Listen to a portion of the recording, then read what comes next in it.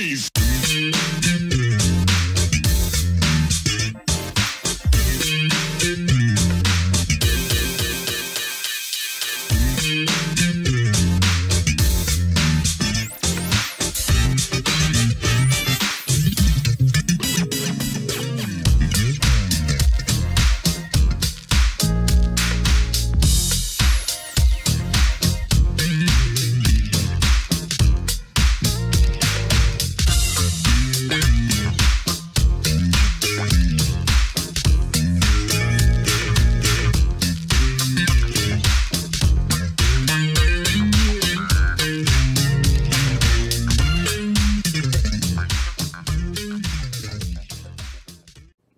Welcome back to the next part of this Truth in Rhythm episode.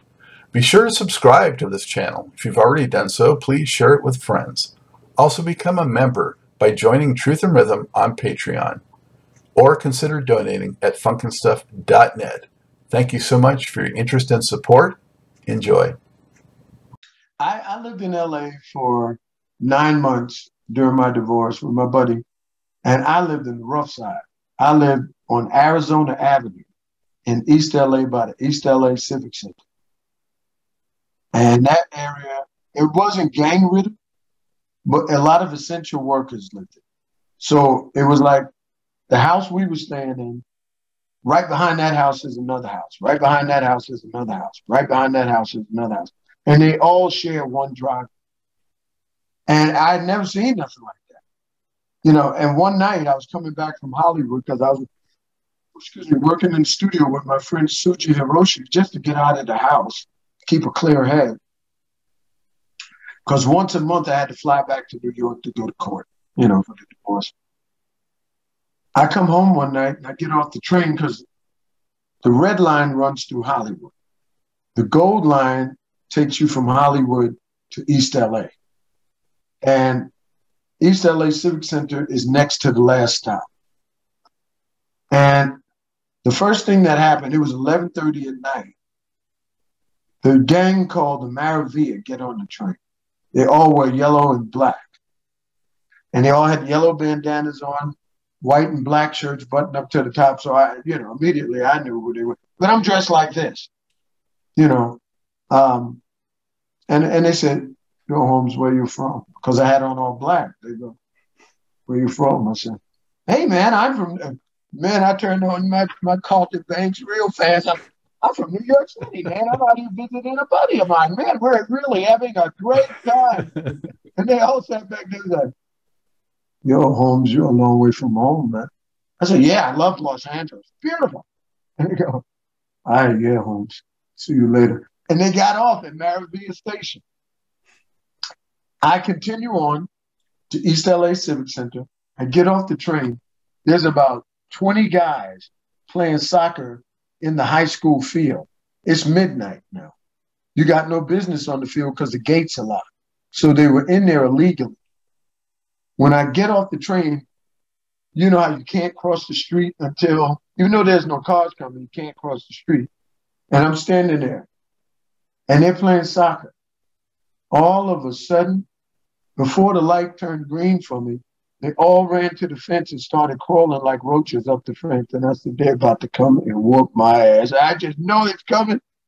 So I said, I grew up in Brooklyn. I'm just going to keep walking. And, and if I get into a fight, then I'm taking two of them with me. But I don't know what's going to happen. And I started walking. And, and I just walked right through them. And I didn't have a problem. And everybody in that neighborhood would look at me strange because they knew I wasn't gangbanging. I'm wearing a regular shirt. You know, most guys that's banging, they got the shirt buttoned up to the top. I didn't even know about that. I didn't know about how, like in Santa Monica, when you go down to the pier, everybody wears white.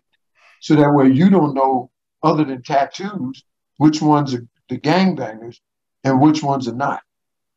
Everybody had on a white t shirt. And I was like, is this like neutral territory? You know, and I guess that's where mostly it was. Bloods and Crips is what it, mostly Bloods and Crips is what I knew from growing up out there.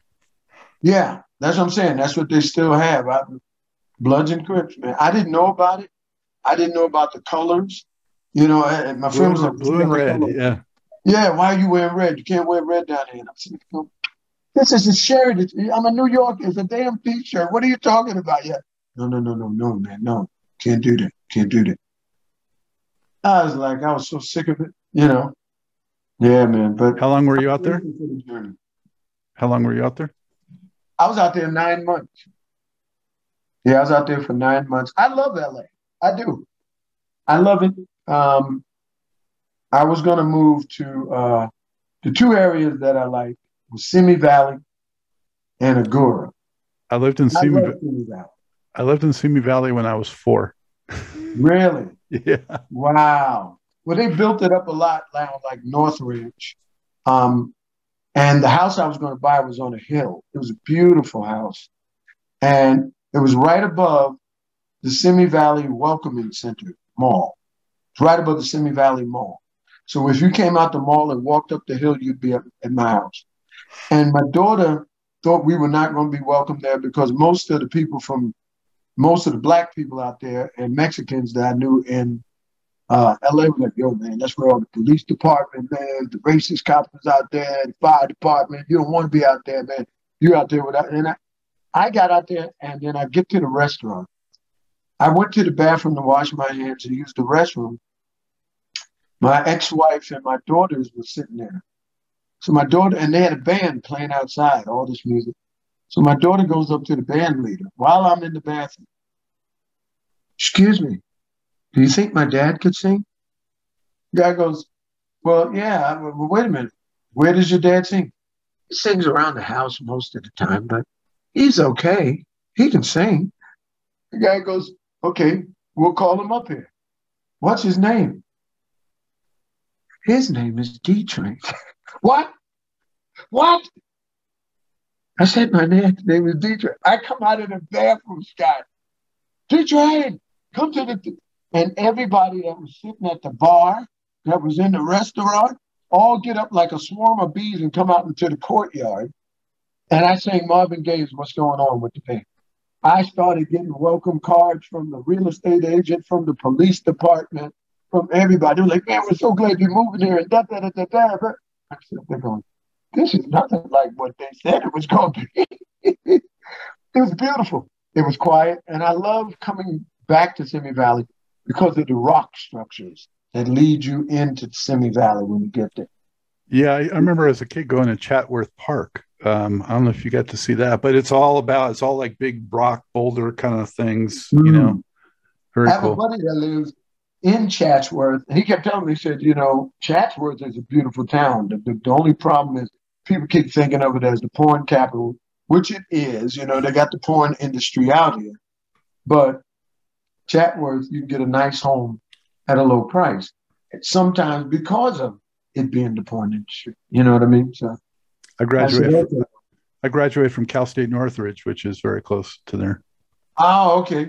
I was going to buy a house in Northridge too. Northridge, when you go into the north, it was a gated community, and they had all these houses going up in hills and stuff. And we went in to see two houses, but you know, it got sold out from under us.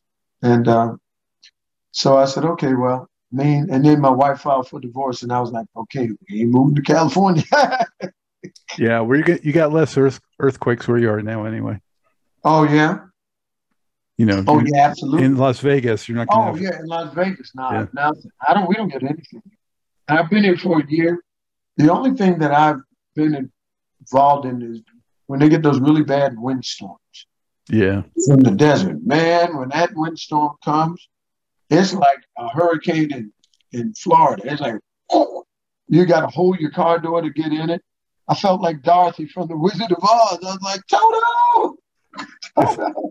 I, I remember uh, a few times walking down areas near the strip where they had giant construction sites because they're building another casino, and it's Oh. all dirt. You know, and you're around all that dirt when the wind Oh, yeah. kicks up. Man, Oh yeah. that's no joke. Dude, I was wondering, I'm driving on the parkway and I used to, I'm a New Yorker. So if it's not as hot a day that I think it's, you know, 100, whatever, I like to roll the windows down, get the, the natural breeze. Nobody in Vegas really rolls their window down. And I was like, why don't they roll the windows down?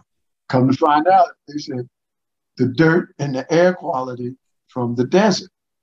And and and since I've been here, I've been getting this thing in my throat where it's like feel like you got a cough, but you don't. And I was asking different singers what that is, and they said it's the air here in Vegas and the atmosphere out here. It's dry, very dry, and dusty, yeah. and dusty. And so I said, okay, now I understand. Spring Mountain Ranch is north of Summerlin. And in Spring Mountain Ranch, it's way in the desert, there was a ranch on 3,000 acres owned by Vera Krupp, the old Hollywood actress. And she had this beautiful ranch in the middle of the desert, and she built several outhouses for her staff to live in. And her manager lived in one, the people that did her clothes, her cooks lived in the other. So she wasn't totally out there in the desert by herself. And she would have these lavish parties for Frank Sinatra, all the guys on the strip, Wayne Newton, whoever was in Vegas. They go to her house, party, get drunk, because you're in the middle of the desert. And what happens in Vegas stays in Vegas. So whoever you wind up sleeping with for the night, she didn't care because, you know, it was in the middle of the desert. And man, I went to that house. It was amazing. It's a horse ranch now. They do tours there. And it's amazing to see how she lived. Her bathtub was huge. She had a huge bath. I've never seen a bathtub this big, but she wasn't a really big woman. You know, it looked like a bathtub for Fat Albert or somebody, and it was made out of blue limestone. I was like, Jesus.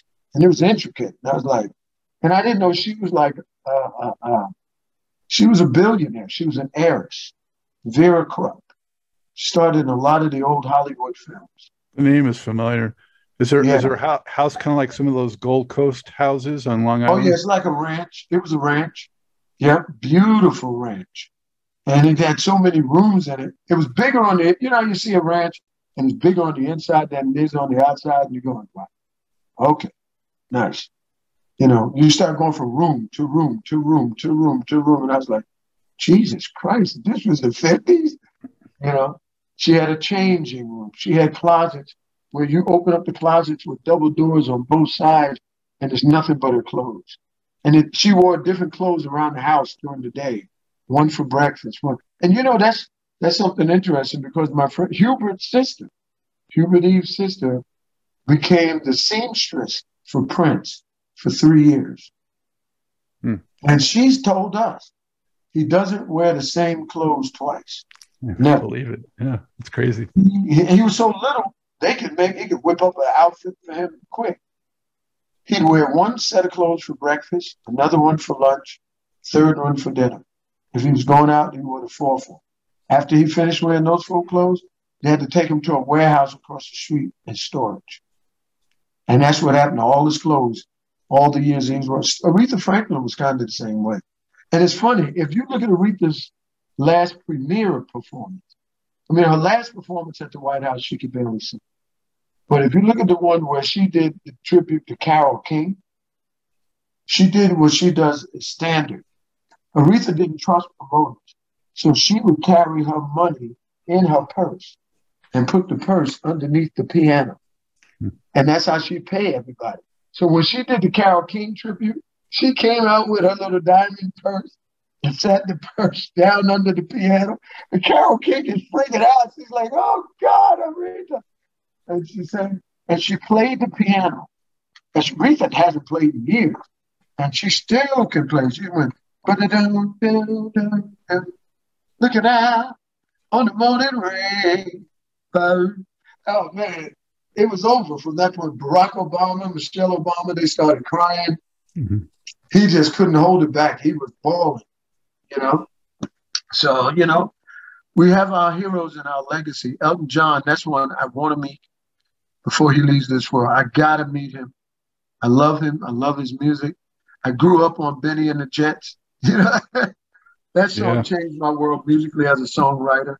Todd Rundgren is another one I definitely want to meet. I'm really good to... friends with Archie Bell from Archie Bell's and the Drells. That's so cool. I got one of my historians under lock and key. Did you ever get to meet Stevie Wonder? Never got to meet Stevie. I've done interviews at his radio station though, because he owns that radio. Station. KJLH. KJLH out there. I've been there. uh, and I've done several times. I've done interviews there, um, but never met the man himself.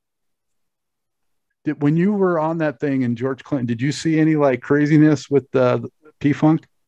Oh, craziness is what you always saw, because it was the opening act, the headline act was D Train, the Bar-Kays. Oh yeah. And then Parliament was the headline. There were 40 people in Parliament Funkadelic. Now, back in the days when bands were on stage, you had risers behind it.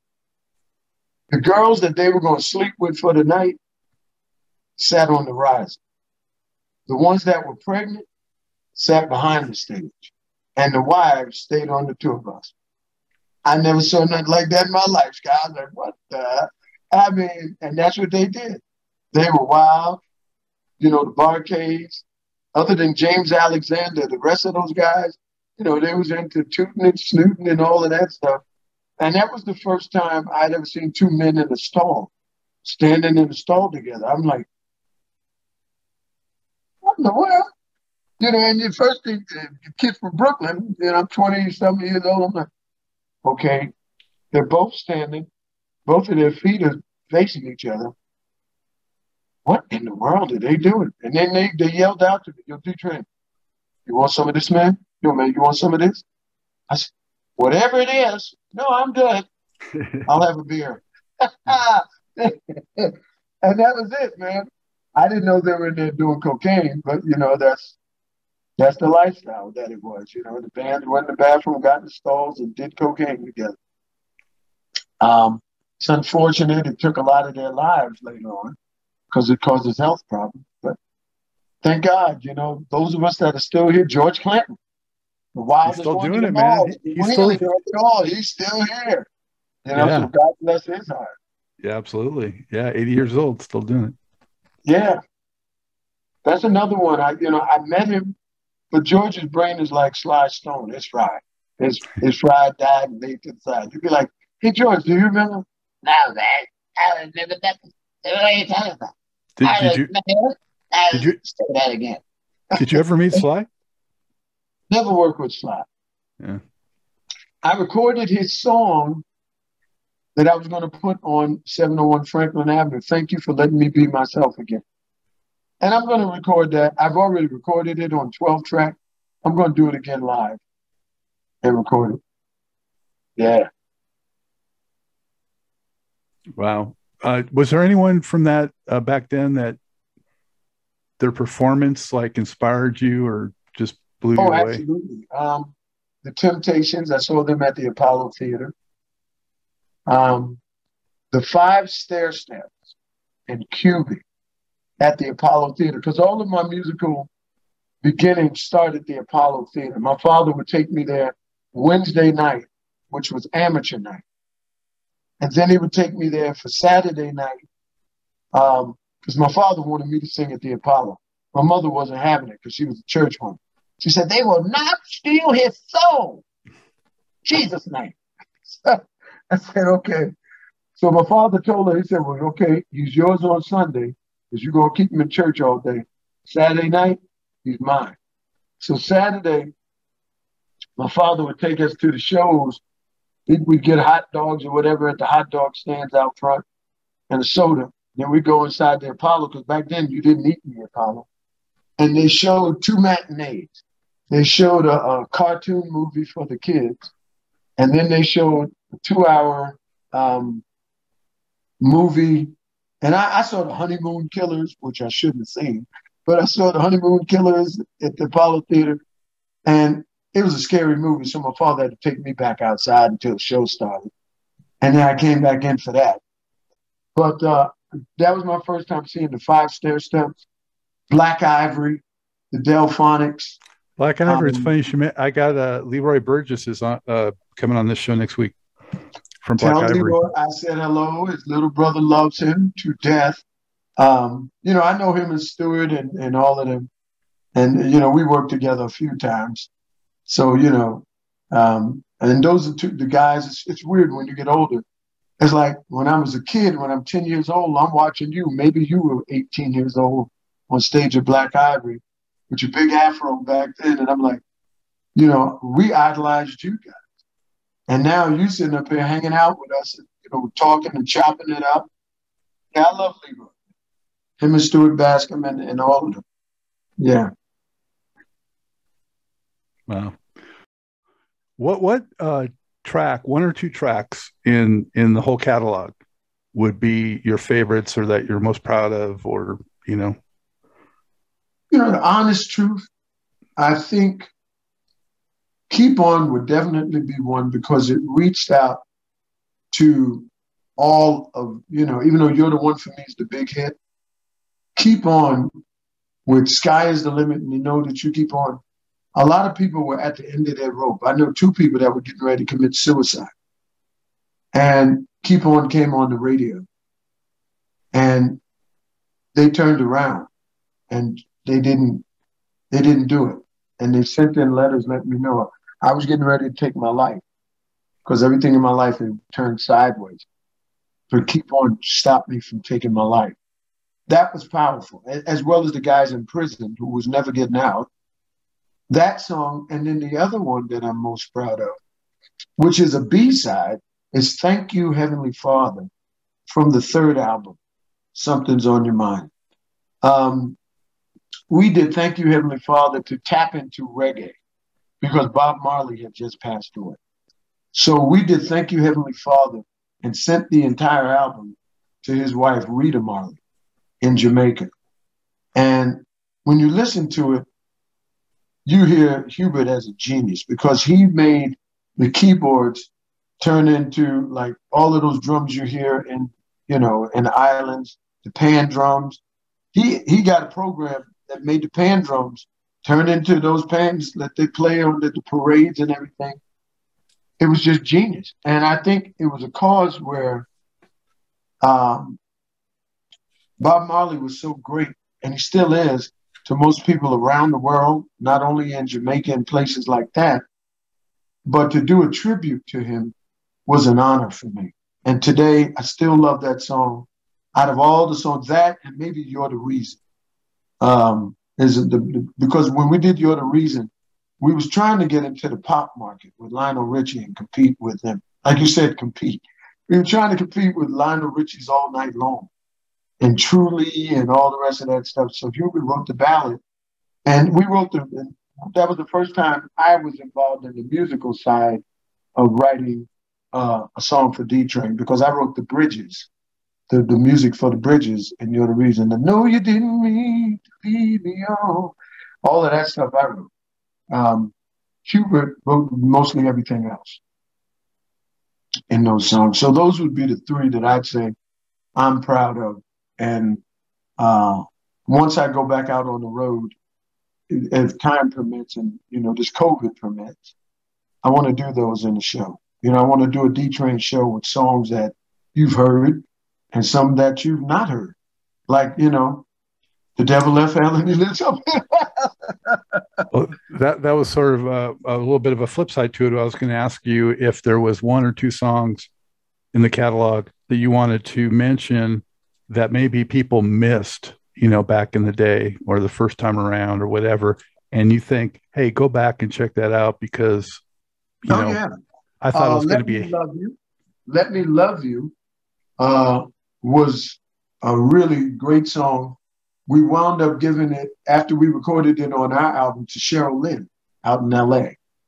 And she had just finished doing Toto stuff. So we gave it to her for her first debut album, which was moderately successful. I think she might have been on GRP. So, you know, um, with Patti Austin and that, like, you know, Dave Grusin. And they were more on jazz instead of funk. Um, and then I, like I said, thank you, Heavenly Father. You're the reason is a love ballad that has been sung at so many weddings around the country and around the world. People don't know D Train for ballads. They need to listen to You're the Reason. And so those would be, you know, some of the ones that I'm most proud of. Off, off of my last album, I'm proud of everything off of that. And I'll tell you why. Because it was for my mom. And as a musician, when I write songs, I, I write them as a consumer first. Would I buy that? Is it something that I would like to listen to? forget about everybody else. And not about nepotism of it being my music, but I, will leave the room and come back to it, and I'll play something else from my iTunes library, and I'll play my stuff. And it's if it's nothing else, it's interesting. I think that's what Prince found in his music. If you don't like it, cool, change the channel. But if nothing else, it's interesting. I mean, he had such a powerful light that sometimes the lines could get blurred. And I say that to mean that musically, you'd listen to some his music on the last four albums, you go, well, Jesus Christ, where was he thinking when he did this? You know, because it's like going into a mental institution and trying to figure out which one is sane and which one is going on and which one's got to stay for the rest of their life. It was like you're in this world of music. And I think when you look at music as a whole, it is like that. Because I don't listen to funk music all day. I don't listen. I will, you know, I sang on Judy Collins' album. You know, Judy Collins is so far from funk, you know, but when you have those experiences, you're right musically along those lines. And I think that when you are creative enough to write a song like a Sting, like a Peter Gabrielish, like a world song, to bring and unite people together. Yeah, I mean, some of my favorite female artists, Donna Lewis, Paula Cole, you know, that you don't hear them on the radio at all. You know, uh, Shawn Colvin.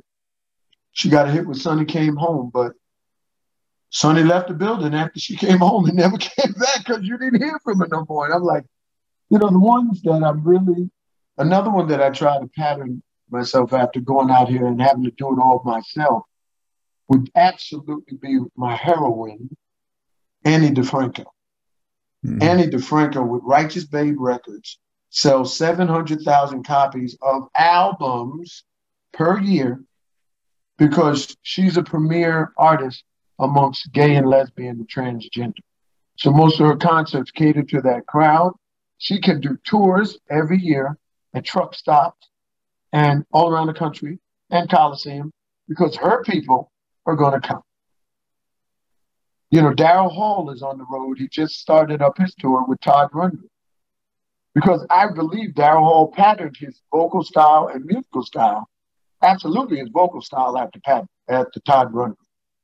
You know, I have just about every Todd Rundgren album ever made. And I wanted to meet him because he's one of my, you know, one of the people that I really look up to. Him, Michael McDonald, you know, those are two. And James Ingram was one too. Well, I wanted to just, you know, echo what you were saying too about, you know, having diverse tastes and diverse influences that I think, you know, the greatest works of music are often by those who have been exposed to all those different elements and they take it in and then they translate it and distill it in their own voice but right. all that's infused into it and create something that you know maybe we haven't heard before because it brings it together yeah. in a new way but they're open to that the channels are open you know not closed off and you know and uh you know like you i've been on both sides you know and had my different groups and you know mm-hmm. I, I am up on all the the rock stuff too but the funk and the jazz um you know i see the beauty in all of it and the creativity in all of it. And uh you know there's gems to be found everywhere if you take the time to look.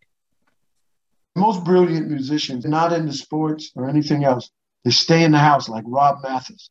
He didn't go outside and play with the other kids. He like a t- tunnel vision on music yeah yeah, tunnel vision, and he just practiced all day. His love, and now Rob is is like my big brother in the music industry. Um, he composes and writes for films like The Greatest Entertainer, starring Hugh Jackman. He did. He was the uh, composer for Sting on Broadway. He was a composer for Bruce Springsteen's movie Northern Lights. He did all the music for that movie, the orchestration arrangements for Bruce. So and, you know, we've worked with Bruce and Sting at Christmas concerts. We backed up Bruce at the Kennedy Center on us. You know, Rob was always grabbing me like his little brother and dragging me into good situations.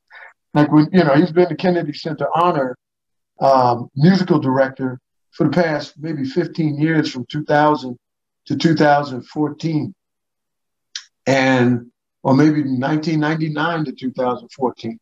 And um, about 2012, he dragged me in there. He's like, D, you want to sing backgrounds in, you know, Kennedy Center on it? And, and we would do the musical tributes to all the artists like Led Zeppelin. You know, we do the Led Zeppelin tribute, the Billy Joel tribute. If you look at that online, you'll see me singing backgrounds. So what what that part of my career, which I'm proud of, I was able to blend. And what happens is I always place myself in a place of learning, whether it be out front, whether it be behind the scenes. As a studio musician, I was most proudest of that because you're accepted amongst the elite. Patti Austin calling me to write a song for him.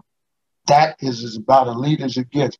But then George Duke calls and says, I want to record two of your songs.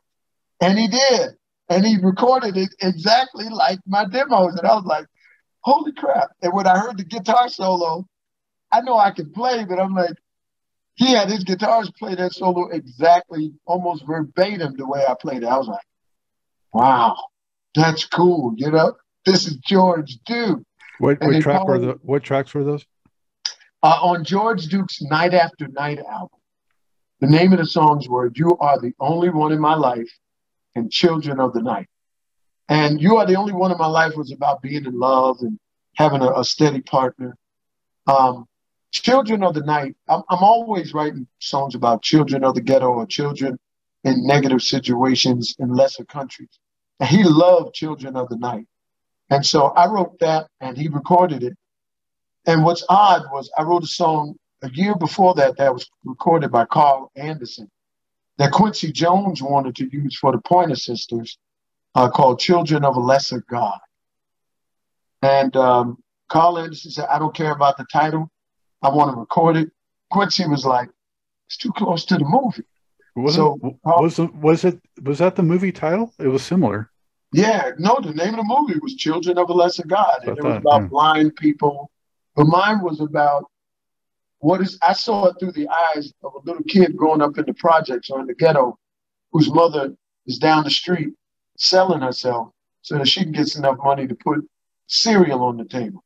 And his father's out there hustling on another corner, but not even there at all in the picture. So this kid is left to raise himself in his circumstances.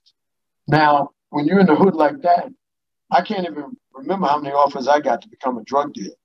I, it, it was just too many. And you can choose that life. It's like my friends who grew up where I went to school. I went to school out in Sheepshead Bay, Brooklyn, um, where most of my friends were Italian. And a lot of them were solicited by the mob. And they were like, you know what? A lot of them became wise guys. Some of them went into the construction company business, but a lot of them became wise guys. And you just don't hear from them anymore once that happens. Because they're either one or two places. They're either dead in the graveyard or in the jailhouse. That's it. You know, or in their witness protection program nowadays, because they done told on everybody. See, you know, La Cosa Nostra used to be a quiet thing, but now it's like, you know, after John Gotti went down, his board was like, wait a minute, hold on, I'll tell. Wait, listen, over here, I killed 50 people, but wait, I just did it for John. Hold on.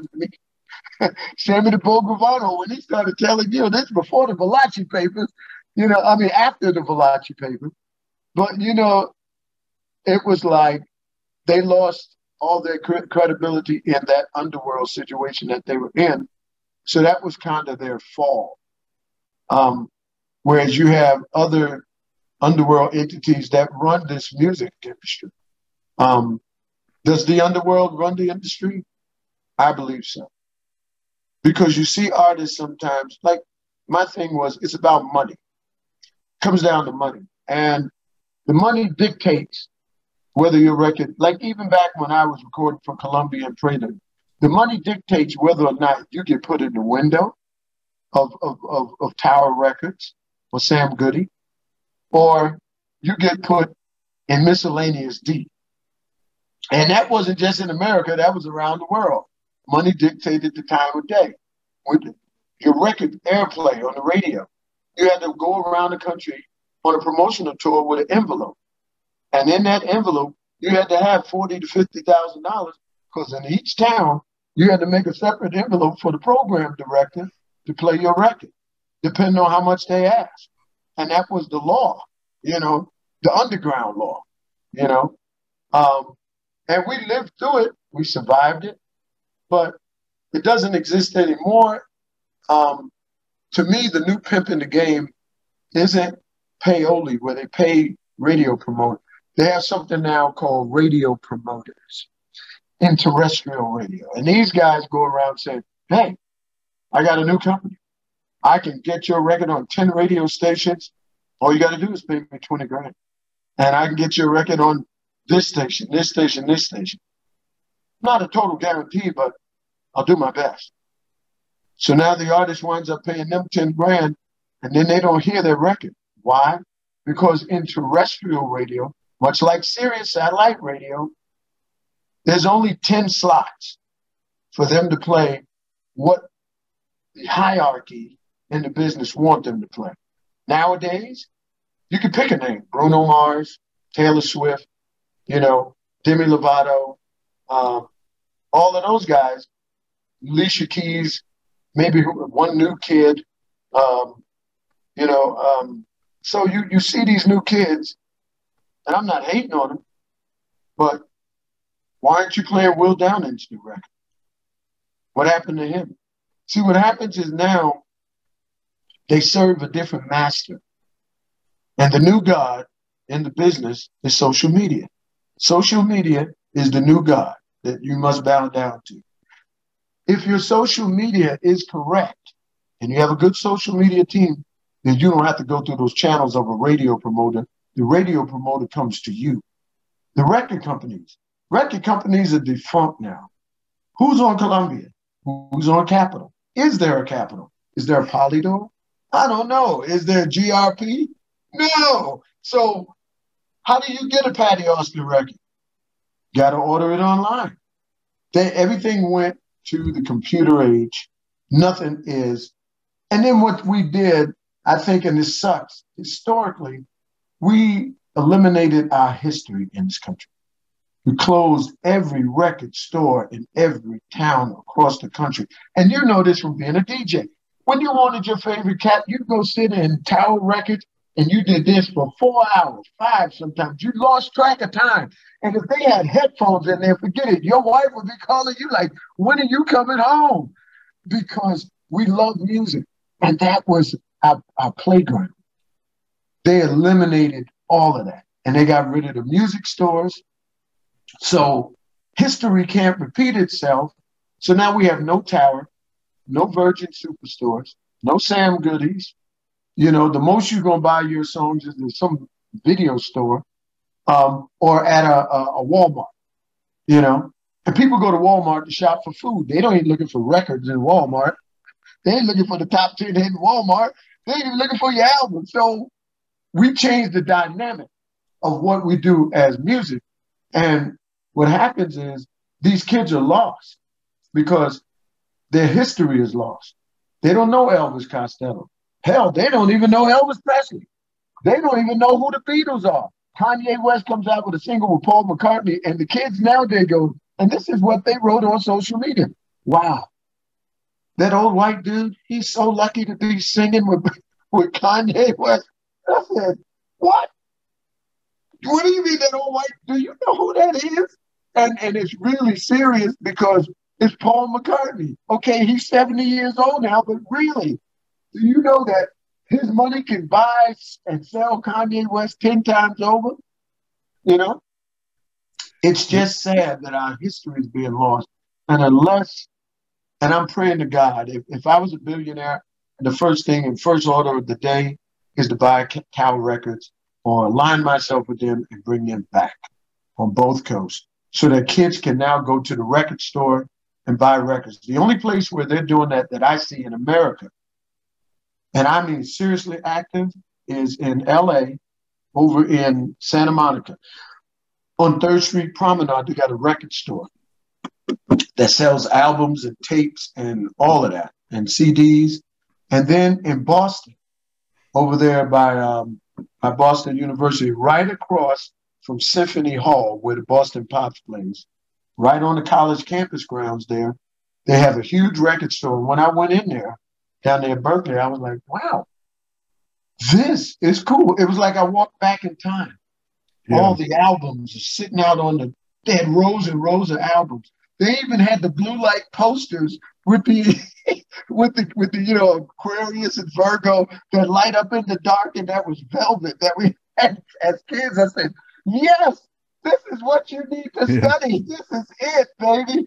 Do it. Keep doing this. You know, I was excited when I went down there and saw that. And in the corner, you know, and they had Aretha Franklin, the Four Tops, you know, uh, um, Tony Bennett out front, out front in the record thing.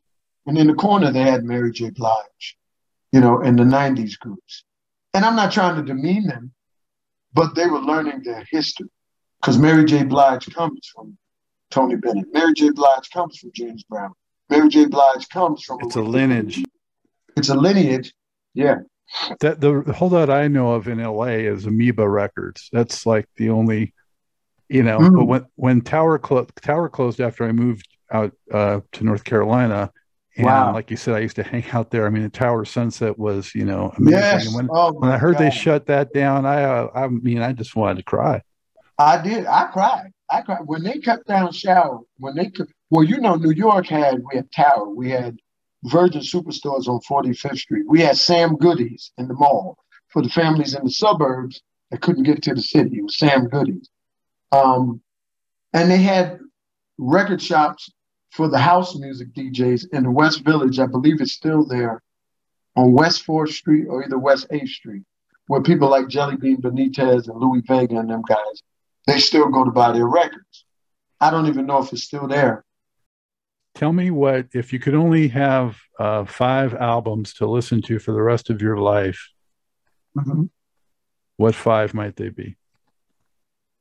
And they can't be any D trains, other people. Well, no, no, I, I could give you the five. The five I would give you is uh, Johnny Mathis. I don't know the name of the album, but it's just like What a Wonderful World. My dad used to play it all the time. The Jackson Fives, I Want You Back. The Jackson Five, Maybe Tomorrow. Um, DJ Rogers, Say You Love Me. That's four, right? Yeah. And the last one I would say is uh oh um down to get it. Oh God, I can't think of this group. Oh, um, um, Tears for Fears. Really? That's an interesting fifth one. Love Tears for Fears. Yeah. I, I Um, have so many though, you know, with like I love Yes, um, Loners of Owners of a Lonely Heart. You know, uh, Go West was one of my favorite groups in from Europe and the UK. Um, was We Close Our Eyes. In fact, I got to work with Go West. Um, we were doing the O'Jays' album. We were singing backgrounds in the choir, and the, this was the choir: Gwen Guthrie, Evelyn Champagne King, D Train, Will Downing, Go West, Levert, the entire group with Gerald Levert, Sean Levert, Marc Gordon. Um, oh my God, there was somebody else I'm leaving out. I don't think Tears for Fears was there, but it was almost like one of those album sessions like We Are the World. And we were singing um, I Will Always Love You, which was written by Keith Richards of the Rolling Stones. And the O'Jays were doing their version of that song on that album. Keith Sweat, that's who it was, Keith Sweat. And we were the choir behind the O'Jays on that album. I will And always love you. Huh? I will always love you. That makes me think of the uh, Dolly Parton, Whitney Houston song. Yeah, I will always love you. Let me see. Keith Richards. Yep. I will always love you by Keith Richards. Keith Richard. Well, that was done. Well, had- anyway, that's an amazing gathering of of performers for that. Oh, For sure. oh my God, yeah, because you know, right after that session, maybe a month later, we lost Gwen Guthrie. Mm. You know, And, you know, sometimes I feel like the last man standing at 60 because pretty much all of my contemporary artists um, that I grew up with um, that performed with me, like Johnny Kemp, Mm. um, Jerome Priester from Secret Weapon, and Oliver Cheatham from London. These are my boys. We all hung out. We all did tours together in the UK. And they were also kind of like my, my drinking buddies because, you know, you go into those pubs over in England and you're staggering out, you know, like, hey, where's Junior? Where, did he stay in the bar? Who's he talking to? You know, those type of things. I have those memories with those guys. And I just, uh, I miss it. I miss it, you know, but I'm grateful that I'm still here to sing and speak about my truth. And, you know, for my, not, if not for myself, for my grandchildren. Wow. So, James, it's been so much fun talking to you. Thank you for sharing all Oh, these you too, incredible stories. Don't let this you know? be the last one. Let's have some more. Absolutely. I mean, man, if you need drops for your show, holla at me. wow, I appreciate that. And thank you for all the great music you've given to all of us over the years. Oh, thank you, brother. Thank you for having me, man, and keeping it alive, man. And how can people keep up with everything James D. Train Williams? Right now, we just put up my website. It's not finished, but it's the official dtrain.com. Um, and if you want to reach me on Facebook, it's dtrain is music uh, dot com on Facebook and on Instagram, it's dtrain is music. Excellent. That's- All right. We're going to look for that new music later this year and see you back out there on the road, hopefully, real soon, too. All right. Take Thank good you care. so much, Scott, for having me, man. I appreciate you. Appreciate you, man. You too. Stay safe. I hope you enjoyed this episode of Truth in Rhythm. A big thank you goes out to our guest as well as to you, the viewer and listener. Also, much gratitude to Pleasure for supplying the show's funky opening and closing music. As a reminder, you can always access the complete list of linked shows by episode at funknstuff.net.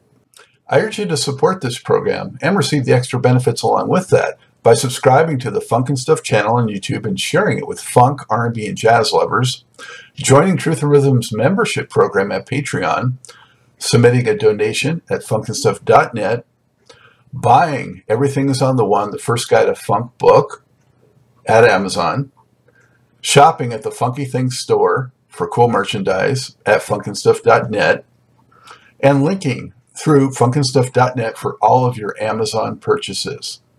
In addition, if you're an artist or anyone seeking proven, results oriented professional marketing, PR, writing, or editing consultation or production, check out the media services section at funknstuff.net. Also, I encourage you to drop me a line at scottg at funknstuff.net. I love the feedback, suggestions, guest requests, appearance and sponsorship inquiries, and just talking about my favorite subject, groove based music. For now, and as always, this is Scott Dr. GX Goldfine saying, keep on Keep on vibing to the rhythm of the one.